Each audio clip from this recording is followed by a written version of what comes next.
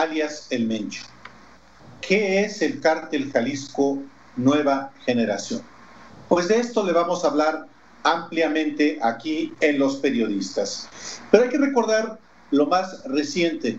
Apenas el 2 de junio, la Unidad de Inteligencia Financiera de la Secretaría de Hacienda bloqueó 1.939 cuentas presuntamente vinculadas justamente a este cártel mediante un operativo, un operativo denominado Agave Azul, seguramente aludiendo pues al, eh, a la planta que es origen del tequila de Jalisco, donde tiene su asiento fundamentalmente el cártel Jalisco Nueva Generación.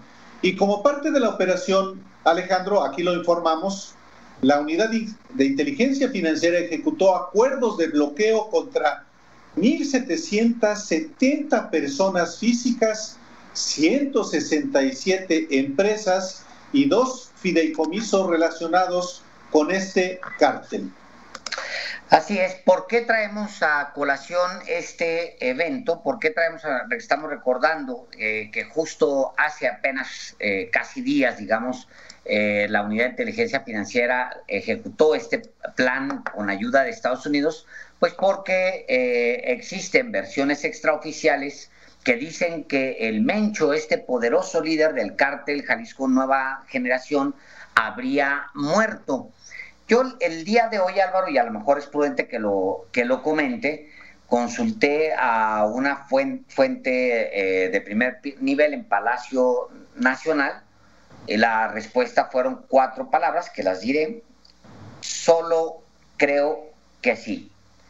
Es decir, cuando le pregunto sobre la posibilidad de que Nemesio o Ceguera Cervantes haya eh, muerto, no se sabe ni siquiera en qué condiciones, no se sabe, había rumores tiempo, hace muy poco tiempo que en el sentido que se habría enfermado de coronavirus, también habría rumores de que lo habían eh, localizado eh, otro grupo criminal.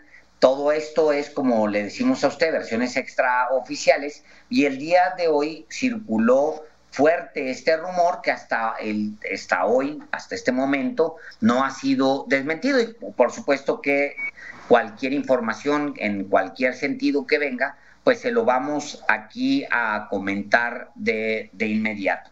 Bueno, pues eh, se trata de un personaje muy, muy eh, poderoso que adquirió poder en muy, muy poco tiempo. O sea, recordemos que antes de la llegada de de Javier Duarte al poder en Veracruz y también eh, de Enrique Peña Nieto a la presidencia de México, Nemesio Ceguera era simplemente un personaje que servía a los intereses del cártel de Sinaloa. Eran, era dirigía una célula llamada los Matacetas que adquieren notoriedad, como adquieren notoriedad esos grupos, con una matanza en Veracruz, una matanza que se da eh, en 2011, si mal no recuerdo, con, eh, con Duarte ya en el poder. Duarte lo que hace es menospreciar, como todo lo que hizo, este, manoteó y dijo que no era cierto, eh, pero, pero la Secretaría de Gobernación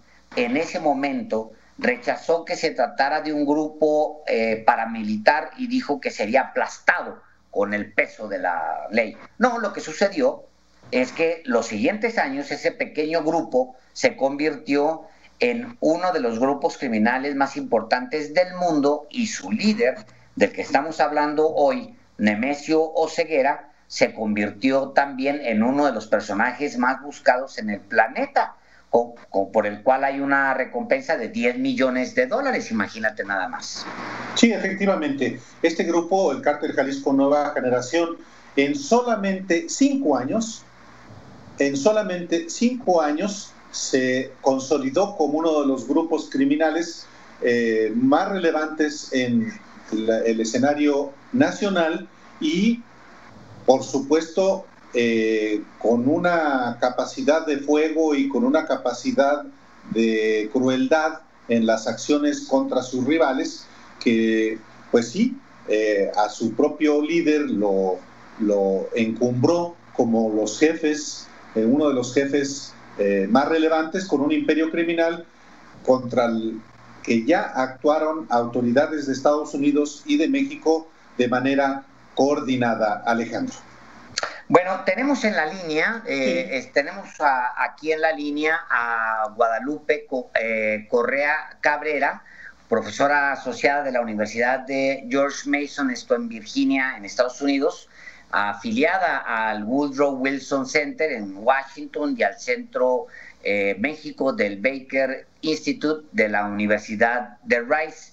Y nos da mucho gusto tenerla hoy justamente aquí en, eh, con los periodistas, porque su, uno de sus temas de especialidad es justamente las estructuras criminales. Y pues bienvenida. en especial, Alejandro, y en especial, Alejandro, este libro muy, muy relevante, Los Zetas Inc., justamente sobre las estructuras criminales de este grupo criminal.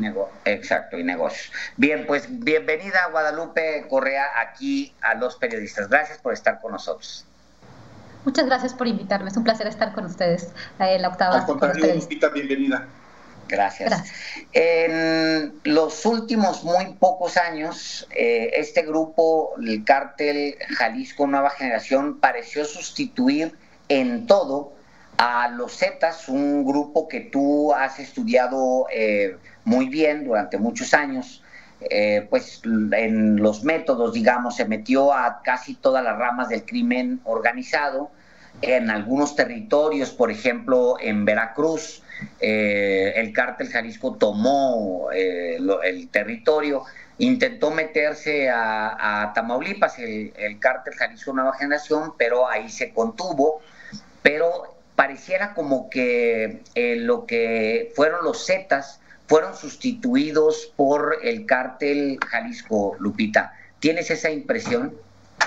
Sí, tengo esa impresión. Es muy interesante entender cómo se ha desarrollado el crimen organizado, eh, digamos, desde el año 2006 hasta ahorita. Definitivamente, eh, a finales del siglo pasado, eh, del siglo XX, surgen los Zetas como, digamos, una guardia pretoriana de, en ese momento, el líder del cártel del Golfo, Sir Cárdenas Guillén. Y esa guardia pretoriana, cuando Sir Cárdenas es arrestado y después extraditado a los Estados Unidos, empiezan estos grupos que eran simplemente estaban trabajando como guardia, como, como, como protección del cártel, del cártel del Golfo, se empiezan a independizar y al final se vuelven, se consolidan dentro de la ciudad de Nuevo Laredo, se expanden por la frontera chica y al final se vuelven una, una, gran organización que tiene vínculos en, este, en muchas partes del país. Eh, hablo específicamente de los estados de Guerrero, de Michoacán, y ellos realmente expandieron este modelo, este modelo de, extorsión,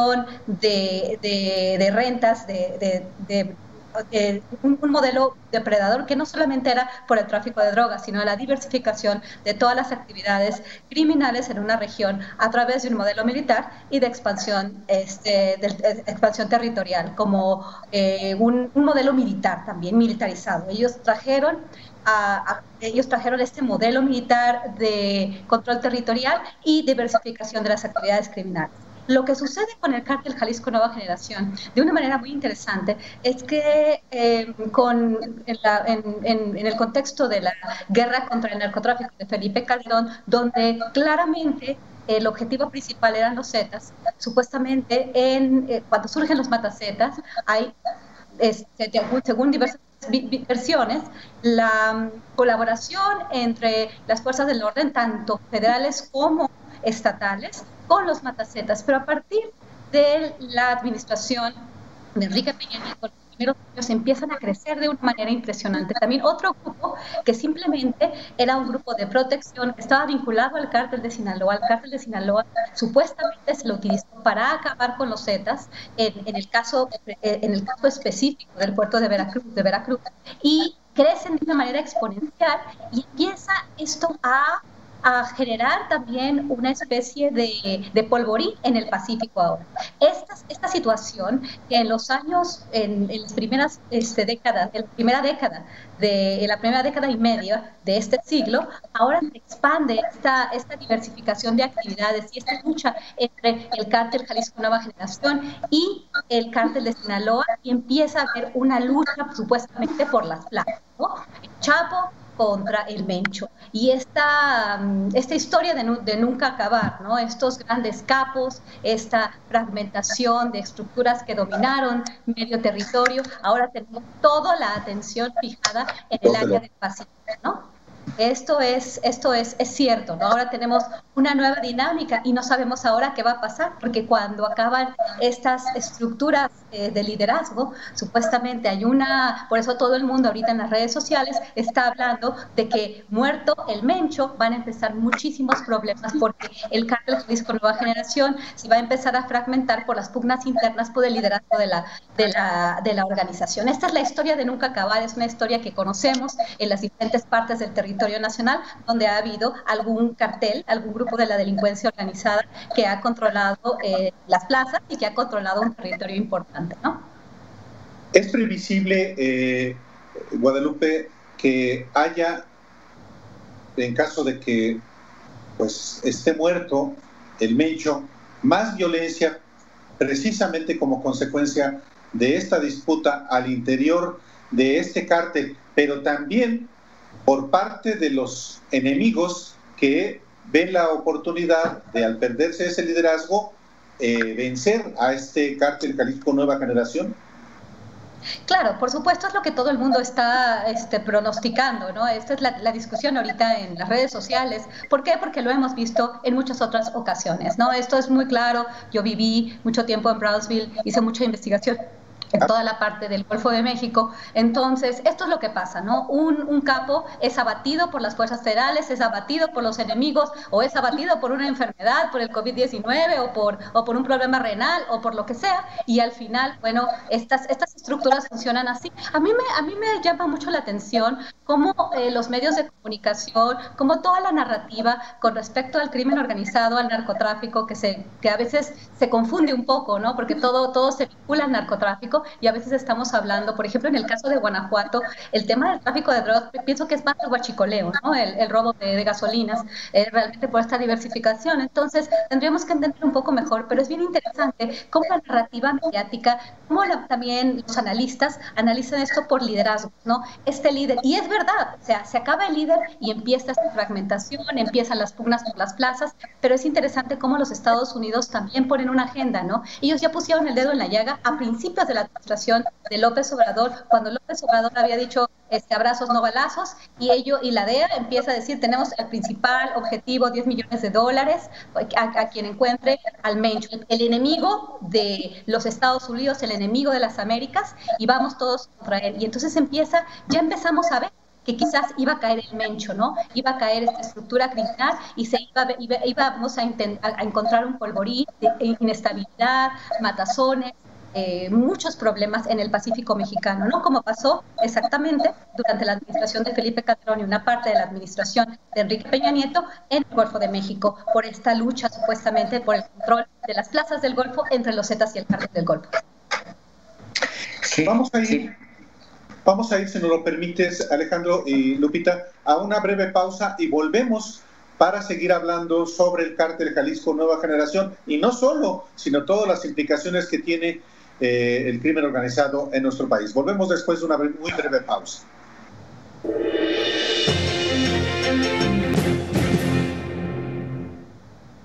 Volvemos a los periodistas cuando son las 6 de la tarde con 50 minutos y estamos platicando con eh, Guadalupe Correa Cabrera, quien es profesora asociada en la Universidad de George Mason en Virginia, Estados Unidos, y se encuentra afiliada al, Woodrow Wilson Center en Washington y al Centro México del Baker Institute en la Universidad de Rice. Estábamos platicando con Lupita, estaba a punto Alejandro Páez Varela de formularle también una pregunta. Adelante, Alejandro.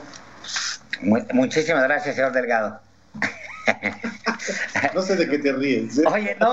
Andas de, muy buen humor, qué bueno. No, no, no. Lo que me, alegra mucho tener a, alguien con el nivel de Guadalupe Correa, por supuesto, en este espacio informativo. Oye, pues este, no, no siempre se da uno de estos lujos.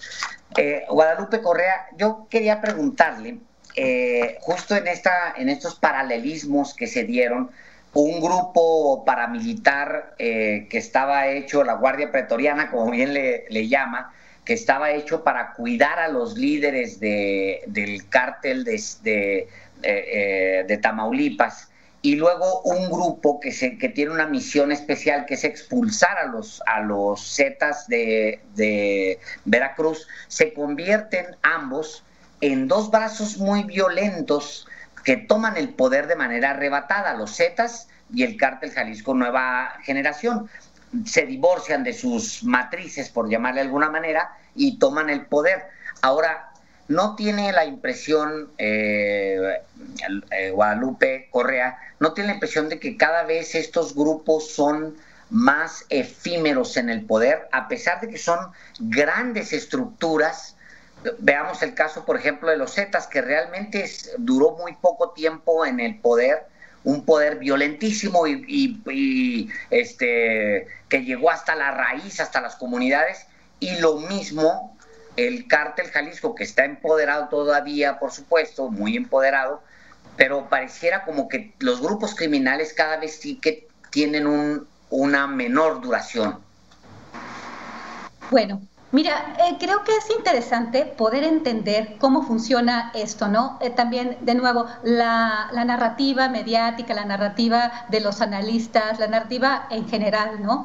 en el espacio público, se habla solamente de los carteles, de los narcos, de, de, las personas que forman parte de estos grupos. Estos grupos no podrían, de 30 personas que empiezan los Zetas, o de también algunas decenas de matacetas que estaban colaborando con el cártel de Sinaloa cuando eran parte del cártel del milenio, como empezó este Nemesio Ceguera, eh, no, no pueden crecer solas, necesitan una estructura de protección de las autoridades a todos niveles. Obviamente la, la, cuestión local, la protección local, con esa se empieza, la protección estatal, la protección también a nivel federal. Entonces no podríamos, no, no, no podríamos haber, no pudimos haber tenido a Zetas sin la protección en las diferentes estructuras de gobierno, no pudimos, no pudimos haber tenido al cártel Jalisco Nueva Generación sin esta protección.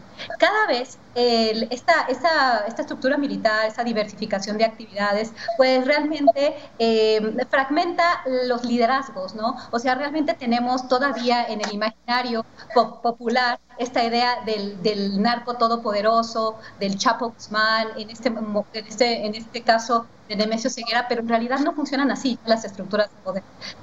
Tienen una protección a diferentes niveles y en diferentes actividades, y mientras dura esa protección, a nivel estatal, federal, municipal, todos estos niveles, dependiendo también partidos políticos, es muy complejo entender cómo funciona todo esto, porque como, son varios niveles de gobierno, protección, como medios de comunicación, hay, hay, hay, hay una estructura compleja. Y esta estructura no puede durar mucho, porque obviamente la estructura de protección no dura mucho.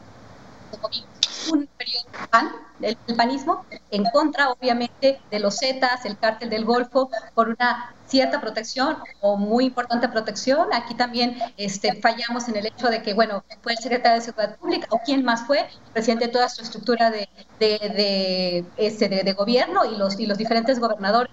Dura mientras están ahí las estructuras de, protección. Y entonces puede durar más, las estructuras de protección se quedan más tiempo, ¿no? La lógica ha cambiado y ha cambiado también la manera de hacer negocio por parte de las, de las organizaciones criminales. Antes teníamos organizaciones que se dedicaban exclusivamente al tráfico de droga. Ahora tenemos organizaciones como el Cártel Jalisco Nueva Generación, como en un momento fueron los Zetas, y ahorita tenemos también células de estas organizaciones como el Cártel del Golfo y los Zetas, son el Cártel del Noreste, y diferentes células de estos grupos que funcionan de manera este, de, semiautónoma. ¿no? Pero en el caso en particular de, este, de esta visión que cada vez duran menos, pues realmente siempre han durado poco, mientras dure la protección. Pero en el caso del los, los 71 años del PRI, digamos, en el, en el poder, estas estructuras duraban más porque tenían una estructura diferente, un liderazgo desde arriba a abajo y además una protección pues a más largo plazo, ¿no? Porque era la protección en realidad de este, pues de, la estructura priista, ¿no? De alguna manera. Entonces, por eso mismo se explica esto. Lupita, hay eh, Guadalupe eh, eh, Correa Cabrera, hay, efectivamente en la narrativa mediática ha desaparecido inclusive la palabra narcopolítica o narcopoder. No se explica en efecto la evolución, el crecimiento de una organización criminal sin la protección institucional ¿qué tan arraigado está la, la, narcopolítica en, en México de acuerdo con lo que tú has investigado? Está bastante arraigado, pero también tendríamos que entender que no solamente estamos hablando de estructuras de poder y a todos niveles, ¿no? Y esto depende, realmente no hay un solo modelo ese de protección y no sabemos realmente, depende la, la administración, en, el supuesto, se, dice que en el sexenio de Felipe Calderón, la, o es lo que ahorita se sabe por el juicio de García Luna, la Secretaría de Seguridad Pública, pero realmente no estamos viendo cómo estamos también, las, se, se habló mucho de cómo las estructuras a nivel local estaban vinculadas con el modelo de los Zetas, pero también no hay que, no hay que olvidar que esto no solamente es de México, también hay que recordar el papel de la DEA, la Agencia Antinarcóticos de los Estados Unidos y otras este, agencias de los Estados Unidos que han estado y operando en México y además han generado también mucha inestabilidad, inclusive lo que pasó con la Barbie, ¿no? Esta, esta nueva noticia de que supuestamente la Barbie era narcotraficante por un lado y, por el otro lado era informante de la DEA y del FBI también. Entonces, realmente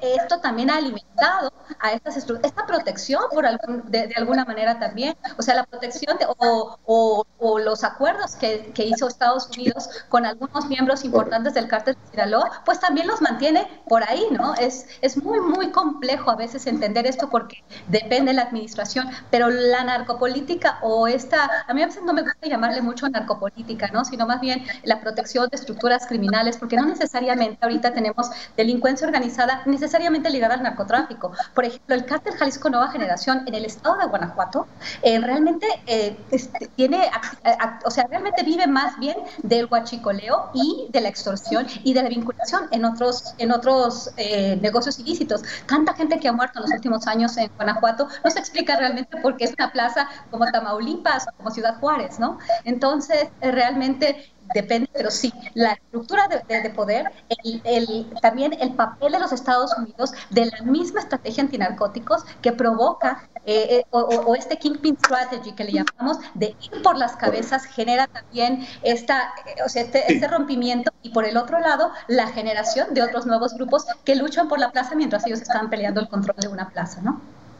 Claro. Guadalupe Correa Cabrera eh, muchísimas gracias una vez más por haber estado aquí en Los Periodistas explicándole al auditorio pues eh, lo que son, cómo actúan las organizaciones criminales en México. Muchísimas, muchísimas gracias. Muchísimas gracias a ustedes por tenerme en el programa. Es un placer estar, estar con ustedes y muchísimas gracias a ambos, Álvaro y Alejandro. Muchas gracias. Encantado. Gracias, Lupita. Vamos a un corte y volvemos.